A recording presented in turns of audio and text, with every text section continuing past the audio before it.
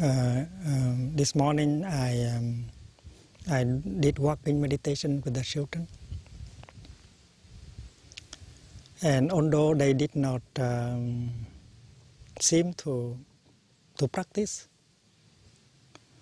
uh, they did not look uh, serious in the walking meditation, but they really enjoyed. Uh, we were able to create the pure land during the walking meditation. Everybody enjoyed. We go free enough in order to touch the beauties of, uh, of the environment and in us. And uh, the Pure Land is not something in the distant future. The, dist the Pure Land can be touched in the here and the now. And the teaching of the Buddha can even be offered to the children.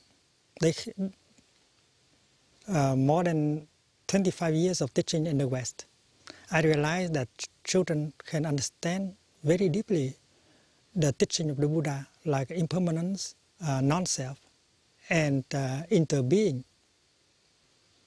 Uh, when I talk to the children about a cloud can never die, they understand. Uh, they can see that the cloud can only be transformed into the rain or into the snow. And when you hold your uh, glass and you drink your tea, uh, you can see that you are drinking clouds. And if, if you look into a river, you see nothing but cloud. And if you eat your ice cream in mindfulness, in wisdom, you see that you are eating cloud also.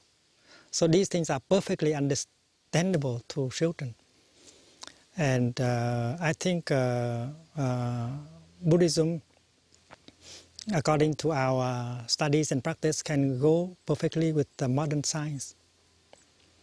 And uh, scientists and the Buddhist uh, practitioners can collaborate in order to dig uh, deeper into the nature of reality. And hopefully by that collaboration we can help remove uh, more misunderstanding, more wrong perceptions in order to give uh, peace and brotherhood another chance.